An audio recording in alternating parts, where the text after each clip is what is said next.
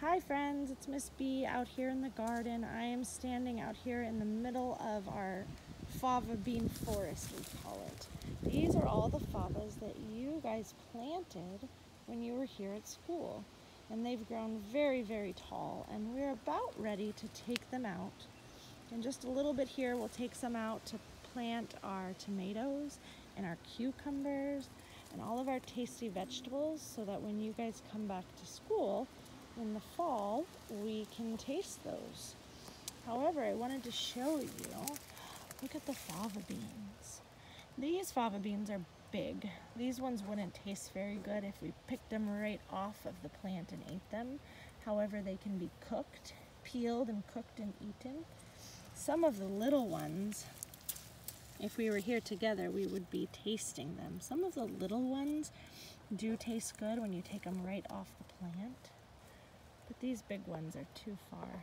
What I wanted to show you out here is that we have some pests in our garden. We have a lot of these little guys called aphids. Do you remember those aphids? There's lots of teeth. Oh, and a bug up there. He's saying hello. These aphids are not helpful in our garden. They're harmful.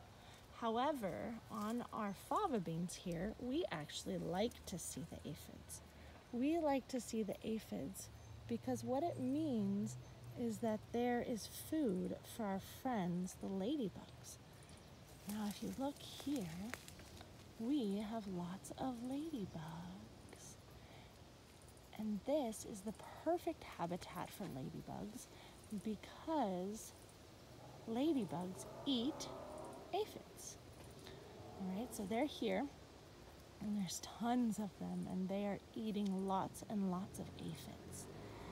And after they get their fill of aphids, they start laying eggs. Now, if you look right here, look at those little tiny ladybug eggs. And you can look for these at home too. If you anywhere you see aphids and you see ladybugs, if you look under the leaves, right up there, you see those little tiny yellow dots, and those are ladybug eggs. And it takes some time. You have to sit and you have to look and you have to be quiet and still in the garden.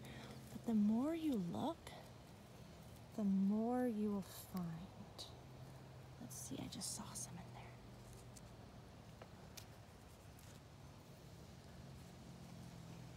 Look at those. Those are ladybug eggs. And when the ladybug eggs hatch, the ladybugs will come out looking a little bit different than you would imagine a ladybug to look. Let me see, I just had one.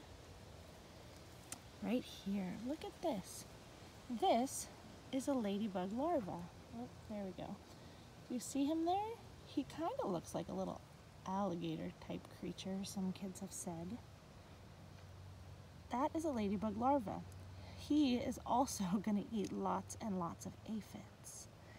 Now the only stage of this life that I haven't seen out here is called a pupa. Oh my goodness, look at all these little larvae.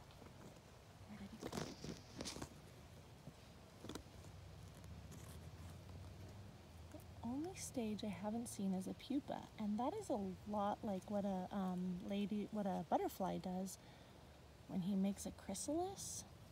A ladybug makes a pupa, and it sticks to the leaf of one of these favas.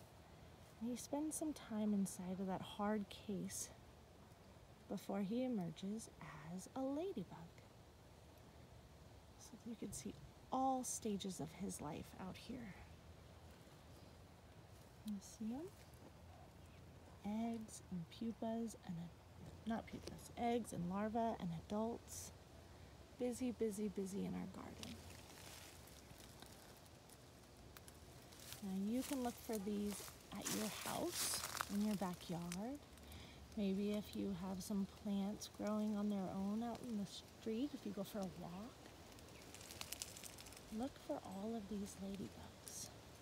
They are so fun to explore in their wild habitats. I hope you guys are doing good, and I will talk to you soon. Bye-bye.